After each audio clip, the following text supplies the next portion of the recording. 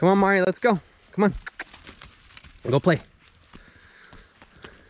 So today is January 10th, which is more or less the dead of winter. And usually this time of year, I don't tend to talk about wild edibles too much because quite frankly, there's almost nothing to eat. There are a couple things, but you know, if we were hunter gatherers as well as nomads, we would definitely be migrating south or at least eating a lot more nuts and meats and that kind of thing. That being said, there are a couple things worth mentioning, one of which is madrone berries. And so in this video, that's exactly what I'm gonna talk about. I'm gonna use this opportunity hiking my dog around in nature to harvest some madrone berries, show you what to look for, show you which parts are edible. And so if you're into that kind of thing, please do stick around because it should be kind of fun and educational.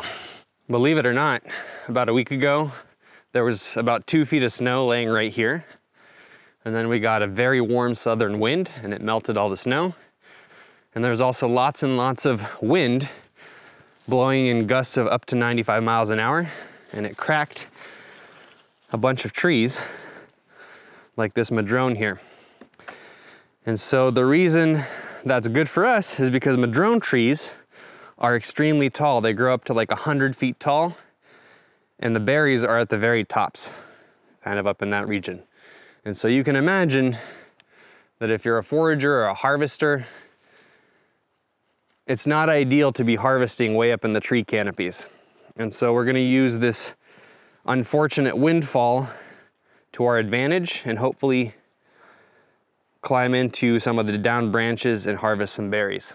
Maybe since we're here and we have this beautiful fallen branch, we can study some of the tree characteristics that'll help us identify these berries.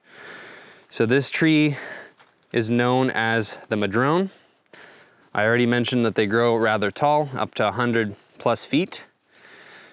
The bark on these trees is very flaky, almost like a birch. So it kind of comes off in paper-like flakes, just like so. And it's a reddish, brownish hue, kind of a rust color. As the tree matures, it expands and it flakes the bark off.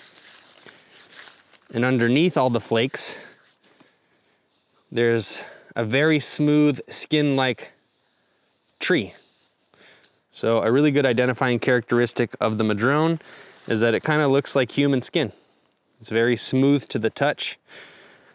This is also a very hard wood, really great for saunaing and heating your house with. It's very, very hard. And so a lot of people that have wood stoves in their houses and their banyas, they like to burn this stuff. And so that's the identifying characteristics of the tree itself. Now, I don't really wanna go down this hillside, it's rather steep, so we're gonna walk up the trail a little bit more and see if we can't find a branch that's easier to work with. Here's another bark specimen right here. So, there's an outer bark that's scaly and papery, and then eventually it flakes off, and you see this very smooth skin-like tree underneath. And here's also a nice madrone leaf specimen right here. So as you can see, the leaves grow in an alternate pattern, which just means that they alternate on the stem. These ones look like they've been chewed by something. Let's try and snag this one right here. Bring it to us. Come here. Look at that.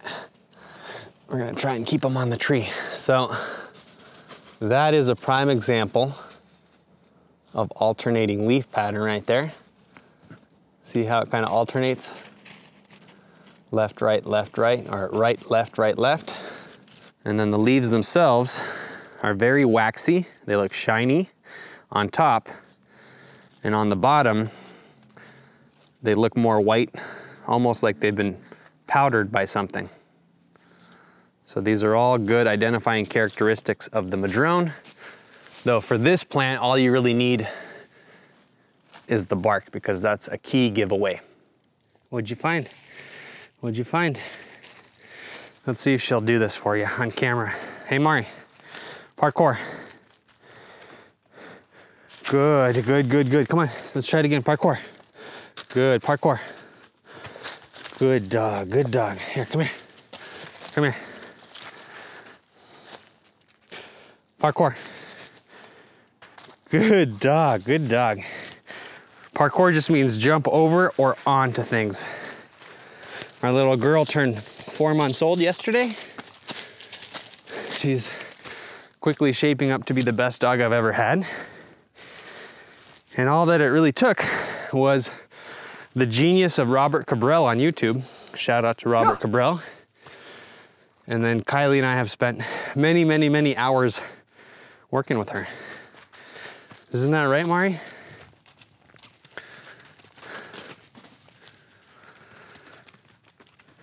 We just have a wild beast running around us. So here's a good specimen of several different madrones, full grown. As you can see, they kind of have curved or bent trunks and they grow super duper tall. The canopy's way up there and the berries are at the very top. So if you're a forager and you don't like heights, generally speaking, these berries aren't gonna be your best friends. Lucky for us, there's a lot of down trees this January, and so we can pick these berries at ground level. Look at that. Just down trees everywhere, freshly broken and sawed. This all just happened within the last two weeks or so. And there, there is where we're gonna work. That's a full-grown madrone that's cracked and fallen down the hill. And then the canopy is laying right there where we can reach it. And so that's where I'm heading. Mari, come here. Stay close. Here we go. Here is a good specimen of madrone berries. They grow in clusters at the top of a tree. And these things are red in color and look like they kind of look like strawberry fruit, which is another wild edible that I've talked about on this channel. If you have no idea what I'm talking about, I'll link to another video I did about those. However, they're a lot smaller than strawberry tree fruit. Their color ranges from red to orange to yellow. These berries are edible and they taste kind of sweet and like mealy apples. So let's give one of these a try.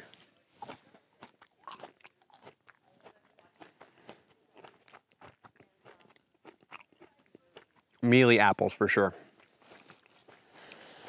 You know, if you're sitting at home and eating something delicious like a, a, donut hot out of the oven, these berries probably won't do much for you in the way of taste. But if you're 50 days in on the show alone, you would probably kill to have a handful of these berries in your mouth. These berries are very nutritious. They're obviously high in vitamins and minerals, namely vitamin C. So this time of year in winter, if you want to not get sick with a cold, etc., etc., it's a great tool to integrate into your diet kind of give yourself a natural boost. These are essentially like the wild version of Emergen-C. You can eat them raw, you can cook them, you can make jams and jellies out of them.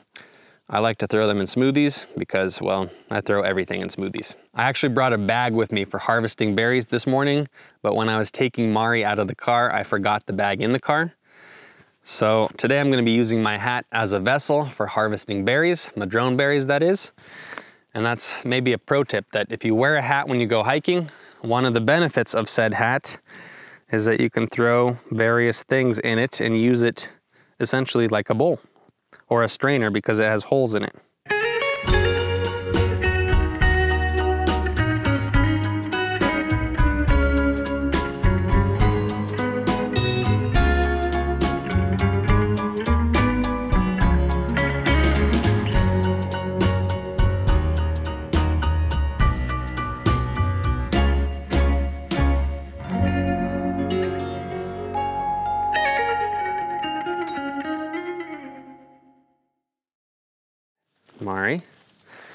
Look, here.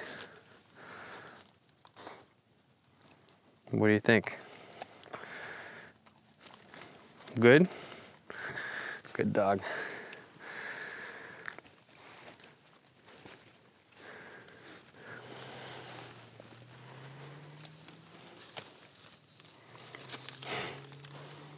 You want another one?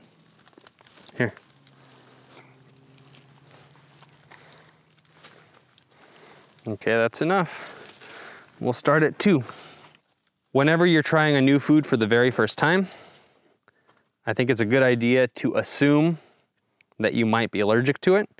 And so try it in very small amounts, regardless of who tells you it's edible. If it's a new food for you, try it in small amounts. And in that way, you can mitigate risk and reduce your chances of any sort of negative reaction, be it mild or major.